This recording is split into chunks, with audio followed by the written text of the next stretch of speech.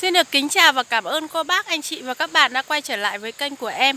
À, Hôm nay trong video này xin được giới thiệu tới mọi người công dụng của cái quả đậu rồng.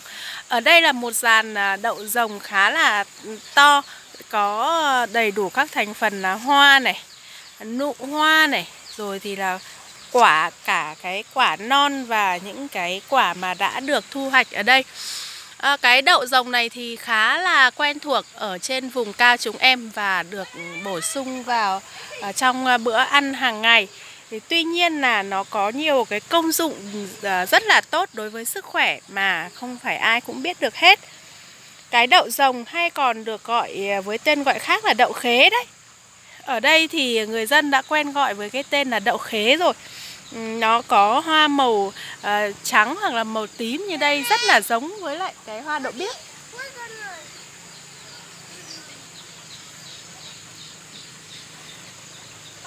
Quả của nó thì ờ, có hình uh, múi khế giống như là uh, các cạnh thì có răng cưa như thế này. Uh, chính vì thế mà mà nó còn có tên gọi là là đậu khế đấy theo các chuyên gia ấy, thì trong khoảng 100g đậu ờ, khế này có hàm lượng chất dinh dưỡng bao gồm các cái chất carbon hydrate này, chất xơ này, protein, canxi, sắt, magie, mangan, phosphor, kali, natri, kẽm thiamin, niacin và folate. Những cái hàm lượng ờ, vi chất là rất cần thiết và rất tốt cho sức khỏe Chính vì vậy mà ăn cái đậu khế này thường xuyên sẽ giúp ích rất là nhiều, lợi ích rất là nhiều cho sức khỏe của chúng ta Cái quả đậu rồng này có tác dụng gì? Cây đậu rồng có rất nhiều tác dụng à, à, Chúng ta có thể sử dụng hầu hết các bộ phận của cây Như là lá thì có thể ăn tương tự như là cái rau bina đấy. Hoa thì có thể trộn làm cái món salad thơm ngon bổ dưỡng. Thế còn quả thì lại cực kỳ có lợi cho sức khỏe.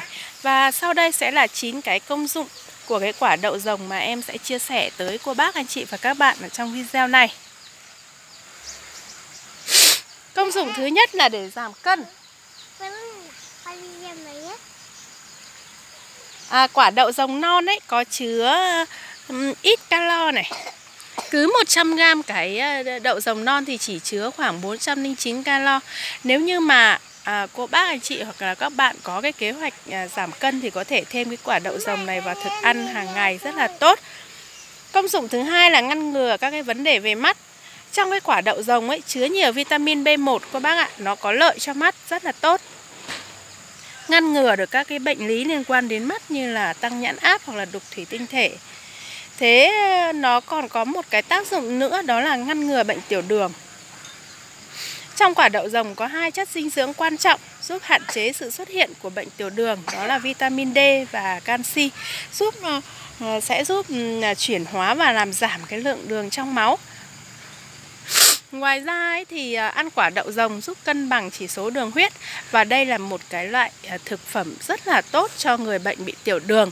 Như ở vùng cao chúng em ấy thì thường là cái cuộc sống mà tự cung tự cấp ấy cho nên là ừ, những các cái loại à, rau quả này thường là sẽ không có cái chất bảo quản thực phẩm à, mua sẽ rất là đảm bảo ăn uống lại hợp vệ sinh đảm bảo cho sức khỏe nữa Công dụng tiếp theo của cái loại quả này đó là giúp cải thiện sức đề kháng.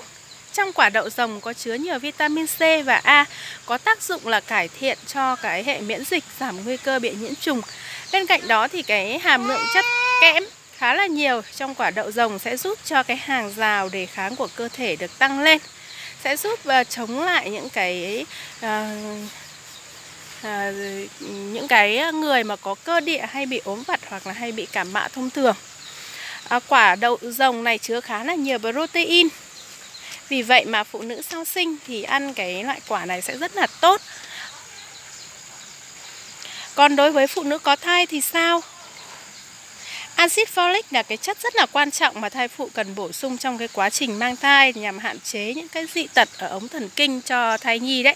À, bên cạnh cái việc mà quả đậu rồng có chứa hàm lượng acid folic tự nhiên cao ấy thì à, à, à chúng ta hoàn toàn có thể là bổ sung cái loại quả rau quả này ở trong cái thực đơn hàng ngày.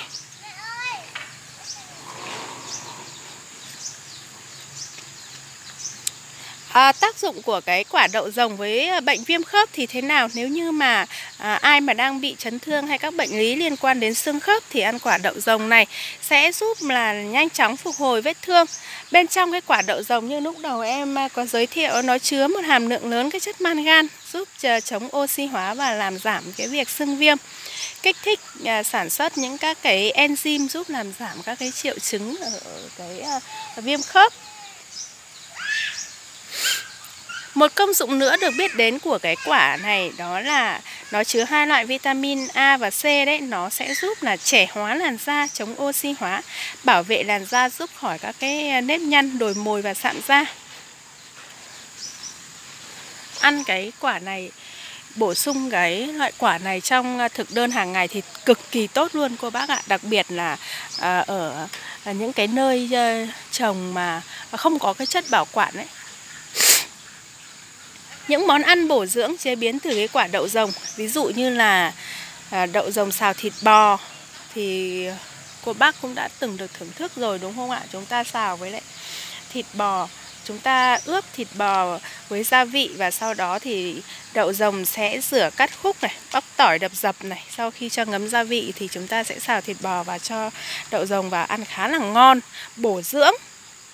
Chúng ta có thể à, ăn sống bằng cách là uh, rửa sạch này ngâm cái quả đậu rồng này với nước muối nhạt.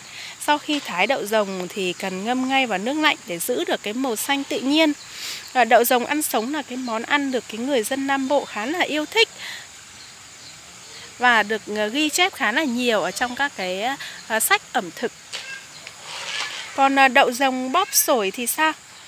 Chúng ta có thể là uh, cắt lát xéo này à, à, sau đó thì à, ngâm à, rồi chiên lên hoặc là à, chúng ta pha với nước chấm cho nó phù hợp với lại à, từng vùng miền ấy.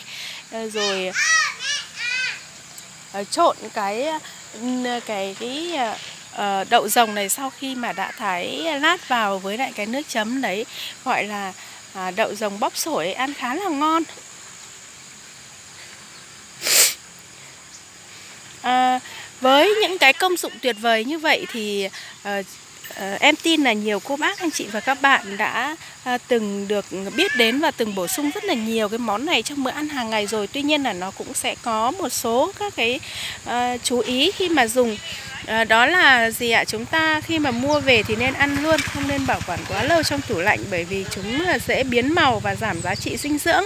cô bác thấy nếu như mà để trong tủ lạnh lâu quá ấy, thì những cái quả này nó cái muối của nó, muối của nó sẽ thường là chuyển sang cái màu nâu. À, khi mà đi chợ chúng ta nên chọn những cái ờ, quả có trái to màu xanh nhạt và không có đốm nâu ở trên trái. Ví dụ như là mấy quả ở phía dưới này là đến tuổi thu hoạch này. Ăn tầm này là sẽ rất là ngọt và đặc biệt là khi mà vừa mới hái xong ăn sẽ rất là ngon. Những người bệnh gút thì không nên ăn đậu rồng vì bên trong nó có chứa cái chất purin. Nó khiến cho tình trạng bệnh sẽ tồi tệ hơn. Những người ở trong các cái trường hợp ví dụ như là dị ứng này với lại cây họ đậu này à, thiếu men G6PD này những người mà bị à, sỏi đường tiết niệu ấy thì cũng không nên à, à, ăn nhiều cái à, à, quả đậu rồng này.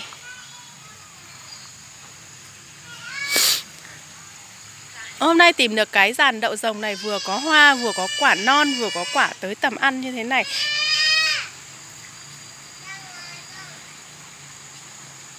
Để ờ, thực hiện video giới thiệu tới cô bác anh chị và các bạn. À, Xin được cảm ơn cô bác đã theo dõi. Xin chào và hẹn gặp lại.